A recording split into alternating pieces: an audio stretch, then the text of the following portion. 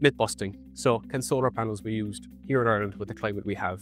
Um, yes, is the answer. So, although what you'd like to see is a nice sunny day, what can happen is if it's a nice sunny day, it gets quite hot, and the solar panels, once they go above 25 degrees or a climate of 25 degrees, they start to produce slightly less and less and less and less. So when you think of somewhere like Spain where it's beautiful and sunny, because it's so hot, they mightn't be as efficient as you think they are.